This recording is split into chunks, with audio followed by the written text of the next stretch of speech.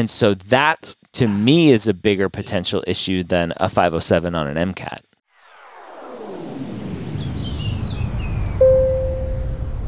Welcome to Ask Dr. Gray Pre-Med Q&A. How are you doing?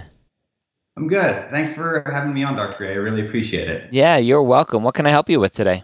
So, I really had a question for you about kind of knowing whenever you're competitive. Mm-hmm. Um, for me, especially, I am a non traditional applicant. Um, so, between working a full time job right now and trying to prepare my application, I'm just feeling a little lost and a little uncertain of knowing do I have enough? Are my scores good enough? Do I need to take more classes? Yeah. What what can I do to make myself more likely to get interviews and get an acceptance somewhere? In other words, you are like every other pre med out there going, what are my chances? Absolutely. Yeah. Talk- it, I just feel a little more lost without having uh, a pre med advisor at a school anymore yeah. to kind of guide me and lead me on the path. Do you know if the the school that you went to if they offer their services for alumni? A lot of times they do that. Uh, they do for a certain period of time, but I just passed out of that threshold. Okay, so you're you're floundering out on your own. Exactly. Um, that that's okay. Where do you think is the biggest potential issue with your application? Well, I feel that my biggest potential issue is in my MCAT score. Um, so I had gone down this route whenever I was in undergrad, and I took the MCAT twice, but in both of those times, I wasn't really in the right position and I didn't give it the respect that I needed to, and my scores reflected that. Yeah. Uh, but it's been a few years now since I've really considered making this uh, commitment and trying to take this path, but it's still just been gnawing at me in the back of my head of wanting to go to med school, wanting to be a doctor. Yeah. And especially working at a hospital, doing research, it just fuels that even more. So I finally came to that point of, all right, I'm committed and giving in everything and had a great improvement for my score, but I'm still just a little nervous that I didn't quite improve enough and I'm not yet at that threshold that I need to be. What's your score? Uh, 507. Okay. Good score. Not blow it out of the water amazing, but yes. but but decent and good. Uh, and just to for comparison for those listening and watching, right, that that average for matriculants, which is what you're probably basing it off of and going, no, it's not good enough. The average for matriculants is like a 511, 512 now. So when, especially for someone like yourself, a non-traditional student who has two prior poor scores is like well 507 that's that's still short of the average for matriculants. But remember the average is made up of a lot of numbers. And so uh, a 507 for a lot of schools is going to be good enough right? I talk about this a lot and i get a lot of flack. They're like what do you mean good enough? Uh, and, and so good enough meaning it's going to get through the filters, right? Those digital shredders. It's going to, and by it means your application, your application will get through those. Your application will end up on someone's desk. Now, what does the rest of your application say? So 507 again isn't uh, amazing. Uh, a lot of advisors will tell you to retake it. I don't mm-hmm. think you need to yet. Uh, let's let's hear the rest of your story to see where else things are. Um, so, as a non-traditional student, when's the last time you've taken classes? Uh, the last time that I took classes was in 2017. Okay, so it's been a few years. How's your GPA? Uh, my math and science GPA was a 3.67, okay. and my total cumulative GPA was 3.71. Okay, so again, solid GPA, not oh my god, amazing 3.9 something GPA. Uh, okay. And what about the rest of your experiences? You said you're working right now in research. What about clinical experience, shadowing, etc.? Yeah, um, I have roughly 500 hours of clinical and shadowing experience. Um, okay. I was a part of a mentorship program at a hospital in Johnstown that I spent a week I, over each week. I spent uh, shadowing a different position in a different specialty. Mm-hmm. And in total, I shadowed uh, 12 different specialties. Some of them we had, we did two different specialties in a week. Yeah. Uh, but that was really eye opening because it just gave me the spectrum of, you know, clinical medicine, which yeah. was really. When was that? Same thing. That was a bit older. That was uh, back in 2016 that I did that. Is that the only shadowing that you have? Um, I have some other, you know, little shadowing here and there. You know, five hours this day, ten hours here, things yeah. like that. How recent? Uh, same thing. The most recent shadowing that I have is 2017. Okay. Yes, that sounds about right. So, shadowing is a little bit old. And uh, is the research that you're doing now is that clinical research or is it more bench kind of research? Um, a little bit of both. Um, so I, my research, the work that I do is in a bench laboratory, mm-hmm. um, but I work for two dermatologists that we do clinical trial studies. Okay. How how much interaction with patients are you doing? Um, a little bit. I will go into the clinic and help to collect uh, blood samples and some skin samples from them. Uh, so I, I get a little bit, but I'm not necessarily working with patients every single day. Okay. When's the last time you had any sort of bigger clinical experience? Um, I would say the last sort of big clinical experience I had was in 2017. Okay. So the the question for me, for you, is you're going to apply to medical school potentially.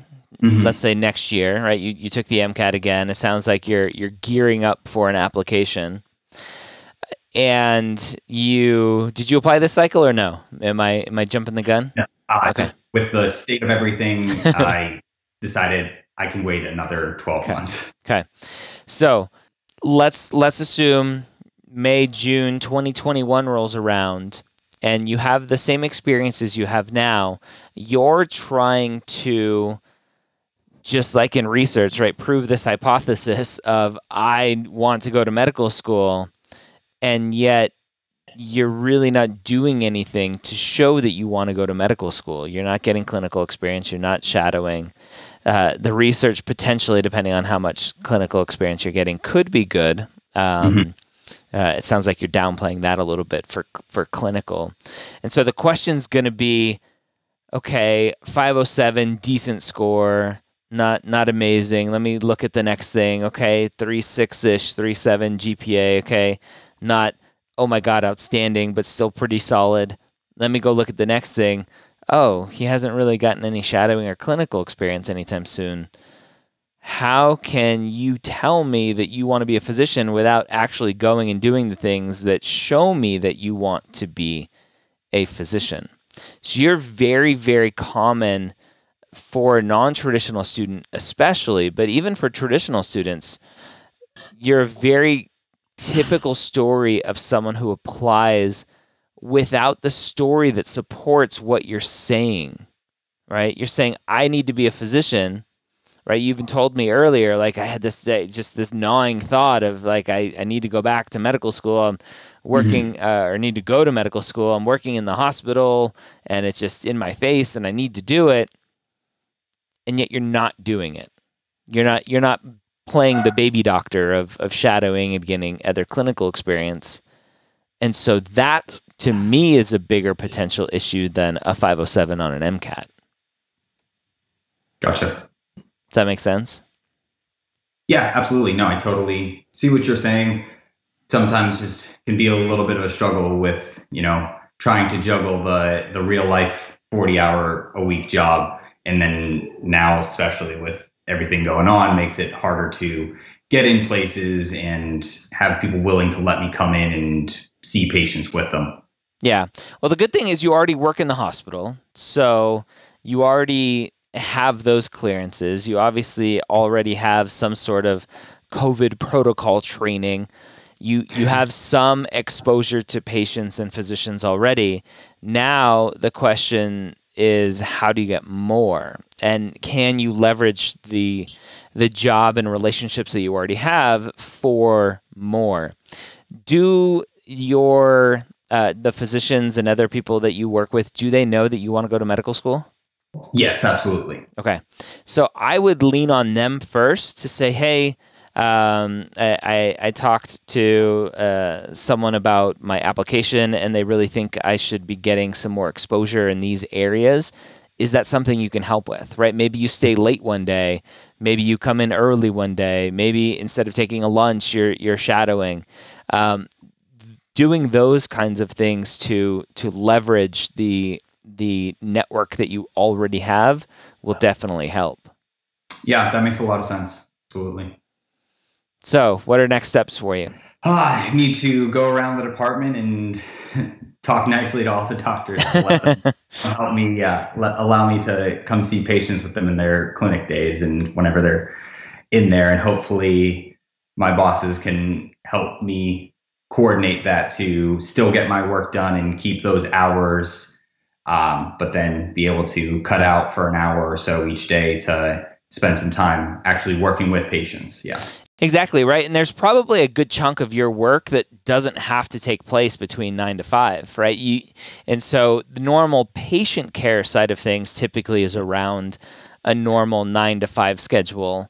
So so if you could carve out a little bit time during that 9 to 5 to maybe act as like a pseudo MA. Maybe one of the you, you talk to one of the physicians or you get in with the department and say, Hey, I'd love to learn how to bring a patient back and take their vitals and interact with them and ask them why they're here, etc. And and so you get an hour or two of experience, or maybe it's a, a half a day once a week, and then you spread out those those extra four or five hours over the course of just staying a little bit later uh, each of the other days. So there, there's lots of flexibility and lots of potential, especially for someone like yourself who's already in a clinic. Now, especially now during the pandemic, for students who aren't in a clinic already, who don't already have that uh, access to a hospital, obviously it's much, much harder. And, and unfortunately, a, a lot of places just aren't going to let students in right now, and we just have to wait it out but you're there. So you you, you got the access. So yeah. I, I think it's easy to make it happen. I, I think if you start now, you're probably fine. Still applying next year with those increased uh, increased clinical experience hours, some some more shadowing hours, getting a few hours a week between now and applications. I think is plenty. On top of obviously everything that you've already done, but it just it restarts that story and, and it, and truth of I need to be a physician.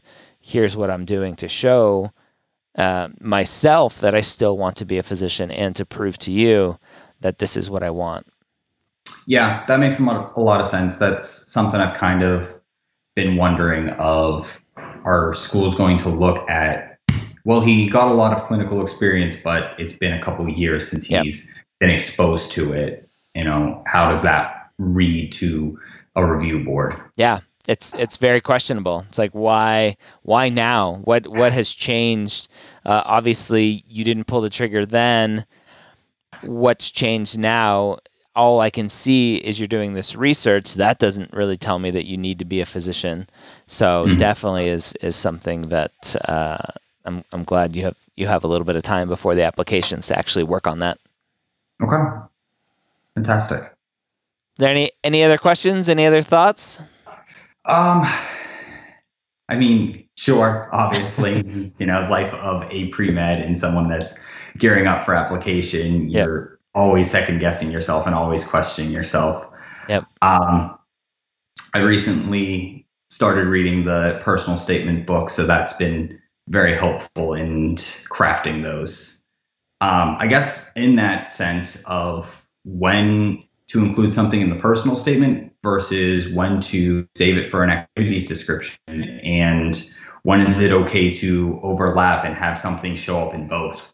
Almost always whatever's in your personal statement will be in your activity list.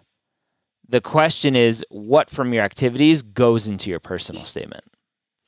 And mm-hmm. so remember that the personal statement is all about why do you want to be a physician and really coming to the conclusion after you do a lot of brainstorming and thinking about your journey in the experiences that you've had and recalling those memories and really asking yourself what two or three or maybe four experiences have I had almost always around patient care, not research, not anything else, around patient care that have really exposed me and shown me that this is what I want to do.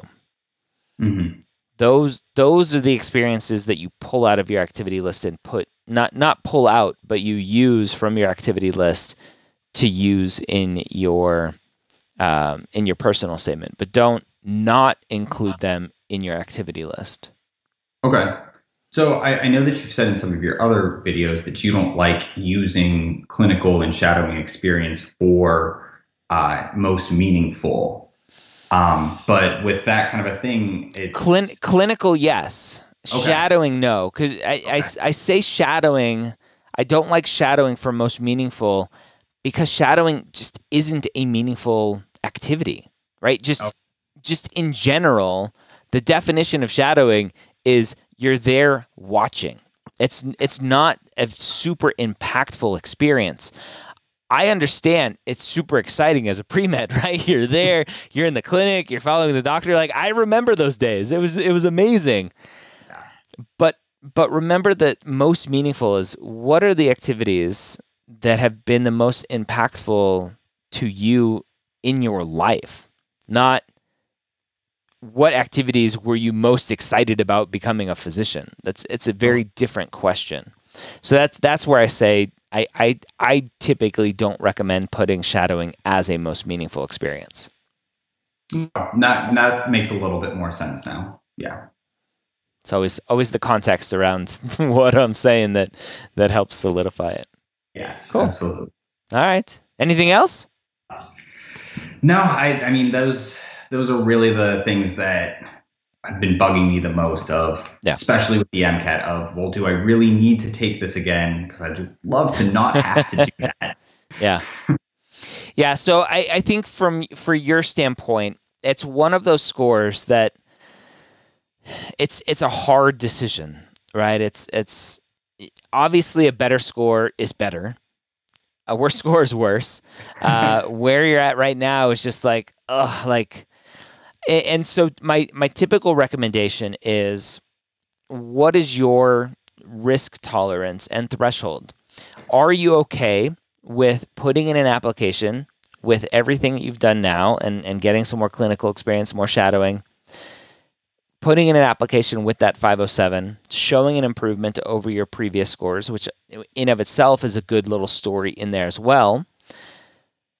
Are you okay with doing that and then not getting into medical school and getting the feedback of your MCAT needs to be higher, which unfortunately is a very kind of default answer, even when it's not the MCAT that is the biggest issue. Mm-hmm. Schools just point that out as like, oh, yeah, the MCAT could be higher, right? Work on your MCAT.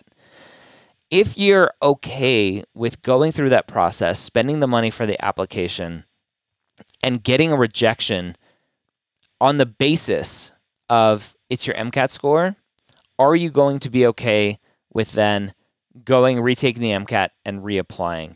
Or would you rather play it a little a little safer and and right now as recording this at the beginning of September go, okay, I know that I can take the MCAT at the beginning of the year before I apply. I'm just going to start studying again for it now. I want to put together the best application possible the first time even with a decent score, I need to improve my chances. And it really depends on you and your personality and what your risk tolerance is to to applying and getting rejected and to the whole timeline of being delayed a little bit more. Well, that certainly gives me lots to think about and consider Good. as I try to move forward in these next few months and hopefully be ready for applying in the next cycle. Well, good. Good luck to you. Thank you so much, Dr. Gray. I really appreciate you taking some time to talk to me. Yeah, you're welcome. Have a great day.